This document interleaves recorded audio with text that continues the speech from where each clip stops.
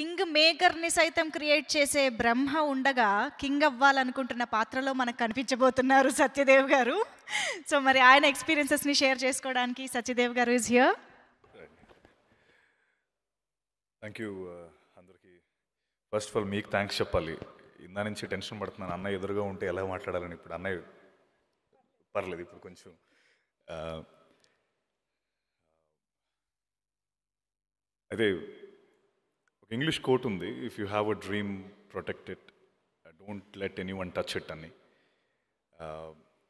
అలా నా చిన్నప్పటి నుంచి నేను కలగన్న ఒక డ్రీమ్ ఎన్నో భద్రంగా భద్రపరుచుకున్న ఒక డ్రీమ్ అది అన్నయ్యతో పాటు స్క్రీన్ షేర్ చేసుకోవడం అన్న ఒక డ్రీమ్ ఈరోజు నెరవేరింది. అది ఒక ముప్పై ముప్పై రెండేళ్ళుగా నేను దాన్ని సేవ్ చేసుకుంటూ ఎవరు ఏమన్నా కూడా నీ వల్ల కాదు నువ్వు చేయలేవు అని అన్నా కూడా నేను దాన్ని భద్రపరుచుకుంటూ ఈ రోజు వరకు వచ్చాను. అలాంటి నాకు ఒక టెంట్లో కూర్చొని అన్న ఎదురుగా నాకు గాడ్ ఫాదర్ కథ చెప్పారు.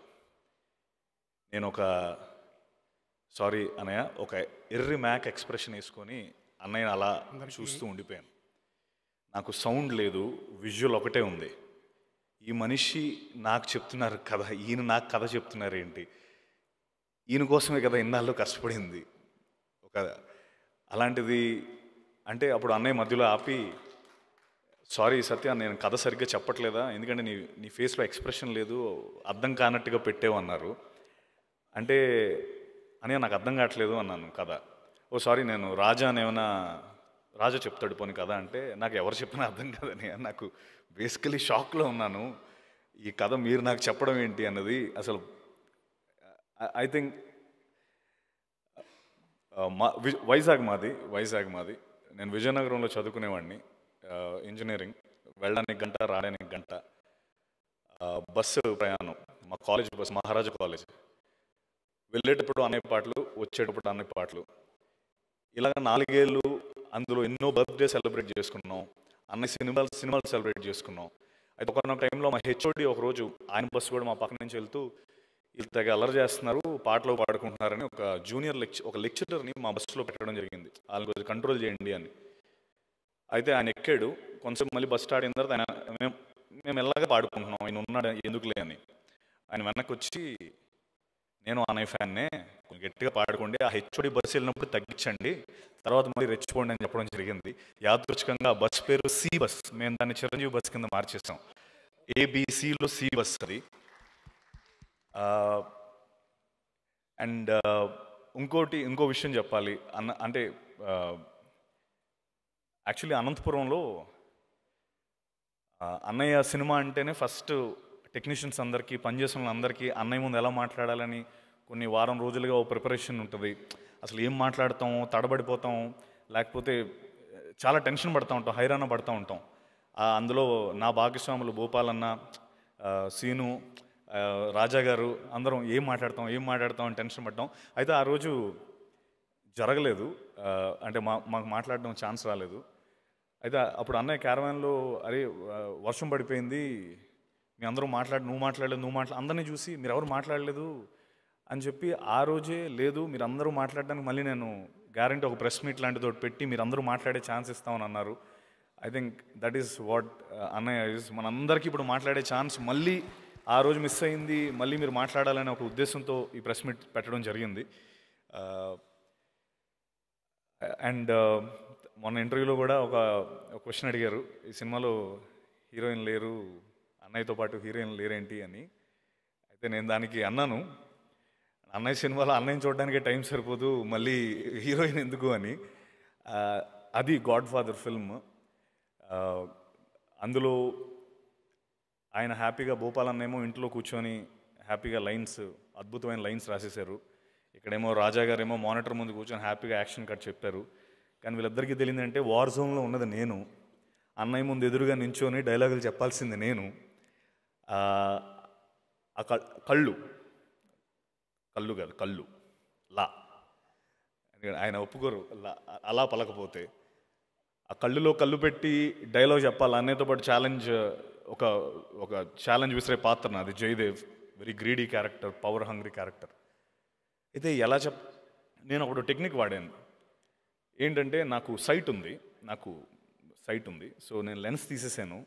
నా ముందు మొత్తం బ్లర్ సో అసలు అన్నయ్య ఎంత దగ్గరగా ఉన్నా నాకేం కనిపించలేదు. హ్యాపీగా డైలాగ్ డెలివరీ చేస్తాను. సో ఈరోజు రేపు పొద్దున మీరు చూస్తే అది కేవలం ఆ టెక్నిక్ వల్లే.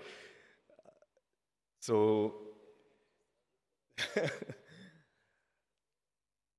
ఒక్క ఒక్క విషయం చెప్పాలి. నేను మీ అందరి ముందు ఎంతో నేను ముందు కూడా చెప్పడం జరిగింది. ఒకే ఒక్క క్వశ్చన్ నన్ను ఎప్పుడు వెంటాడేది. కష్టతరం అసాధ్యం అనే మాటలకి పర్యాయ పదం చిరంజీవి. సో ఎవరైనా మన ఇంట్లో వాళ్ళు కానీ మన చిన్నప్పటి నుంచి పెరిగినప్పుడు కూడా మనం ఎక్కువ వినే మాట నువ్వైనా చిరంజీవి అనుకుంటున్నావా? నువ్వైనా చిరంజీవి అనుకుంటున్నావా? అని మనం ఏదైనా లేదు నేను ఏదైనా పెద్ద చేద్దాం అనుకున్నప్పుడల్లా వచ్చే పదం నువ్వైనా చిరంజీవి ఏంటరా అని అంటారు ఫస్ట్. అలా నేను యాక్టర్ని అవుదాం అనుకున్నప్పుడు నేను ఫస్ట్ విన్న మాట కూడా అదే నువ్వైనా చిరంజీవివా? అని. ఆ మాటే నేను నిజంగా అన్నయ్య పట్ల ఉన్న అభిమానం అన్నయ్య అన్నయ్య అంటే అంత పిచ్చి ప్రేమ. అన్నయ్య ప్రతి స్పోర్ట్లో వన్ టూ త్రీ పొజిషన్స్ ఉంటాయి. One first position second position third position అని. కేవలం నేను అభిమానించే అభిమానుల విషయంలో ఫస్ట్ పొజిషన్ మాత్రమే ఉంటుంది. ఆ ఫస్ట్ పొజిషన్లో మేము అందరం ఉంటాం. మేము అందరం నీ ఫస్ట్ పొజిషన్లో ఉండే అభిమానులు ఉన్నాయి అండ్ అంటే నా ముందు ఆ పదాలన్నీ అలా వెళ్ళిపోతున్నాయి. ఏది పట్టుకొని మాట్లాడాలో నాకు అర్థం కావట్లేదు. అన్నీ తిరుగుతున్నాయి. అనే ఎస్ డెఫినెట్గా అంటే అనే థ్యాంక్ యూ అది అందించినందుకు. నేను నిజంగా ఇది ఎలా ఫీల్ అవుతున్నానంటే మనం చిన్నప్పుడు ఎగ్జామ్స్ రాసినప్పుడు చాలా అద్భుతంగా పేపర్ చాలా బాగా మనం ప్రిపేర్ అయిన పేపర్ వచ్చి మనం సూపర్గా రాసేస్తే బయటకు రాగానే ఫ్రెండ్స్ అందరూ అడుగుతారు ఎరా ఎలా రాసావంటే ఇప్పుడు వీడికి చెప్తే వీడు మళ్ళీ ఏమంటే ఓకేరా బాగానే రాశాను బాగానే రాశానని చెప్పి వెళ్ళిపోతాం. నేను ఇప్పుడు అదే పొజిషన్లో ఉన్నాను. నేను పేపర్ చెత్త కొట్టేశాను రిజల్ట్స్ కోసం వెయిట్ చేస్తున్నాను. అండ్ అక్టోబర్ ఫిఫ్త్ మీ అందరికీ నేను డిస్టింక్షన్లో గాడ్ ఫాదర్ డిస్టింక్షన్లో పాస్ అవుతుంది. అండ్ ఈ అవకాశం ఇచ్చిన మోహన్ రాజా గారికి రాజా సార్ నేను మీరు నాకు చాలా మంచి ఫ్రెండ్ అయిపోయారు. నిజంగా మీ కూల్ నేచర్ ఇంత పెద్ద ప్రాజెక్ట్ని మీరు హ్యాండిల్ చేసిన తీరు నిజంగా hats off to you sir ఈ రోజున ఐ మీన్ ఇంటర్వ్యూస్లో కూడా చాలామంది అడిగారు ఎక్కువ చెప్పండి ఏదో ఒకటి చెప్పండి ఏదో ఒకటి చెప్పండి నేను ఫిఫ్త్ తర్వాత చెప్తానని చెప్పాను. థ్యాంక్ యూ రాజా సార్ ఈ ఆపర్చునిటీ ఇచ్చినందుకు. Prasad Chowdary sir thank you so much Prasad గారు థ్యాంక్ యూ సో మచ్ అలాగే మాధవ్ కుమార్ విడుదలై గోకుల్ రాజ్ పవన్ అందరూ direction team thank you so much Deepika thank you so much నా కాస్ట్యూమ్స్ అన్నీ చూసుకున్నందుకు. అండ్ ఇంకా ఎవరైనా మర్చిపోయి ఉంటే నన్ను క్షమించండి. అండ్ అన్నయ్య రాజా గారికి ఇచ్చేస్తున్నాను. Thank you thank you thank you so much hosting కూడా చేసేస్తారా ఏమిటి సత్యదేవ్ గారు? ఎనీవేస్